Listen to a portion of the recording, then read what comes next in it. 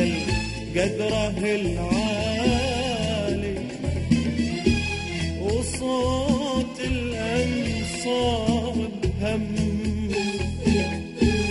تلاشى وأصبح الثاني.